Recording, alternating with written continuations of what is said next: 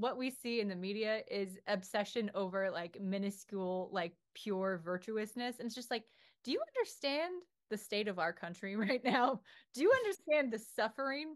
Like most of Americans don't have time to think about any of that shit that you are shoving down their throats because they are starving, they're in poverty, like they aren't being educated, they're on drugs. Like there is so much like just to be obsessed with virtue signaling is a it's a point of privilege.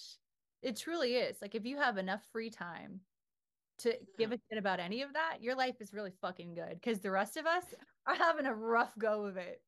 I think when you mention like a stereotype to someone or make jokes like that to a person, it's like it's also for me is a way for someone to get close to me is to make those yeah. comments. Someone is like really virtue and all this like dancing around, like, oh hey, you guys have ketchup in your country, like shit like that. I don't want that. I'd much rather someone because I don't know, I feel closer to people that way. Yeah. With virtue signaling and all of that, you know, identity politics, all those kind of weird things, like there comes a time where they kind of start internally cannibalizing and like the virtue out virtue the other one and then the yeah. groups kind of disband and it's kind of like you lost the point of whatever you were what you were trying to do you kind of lost yeah.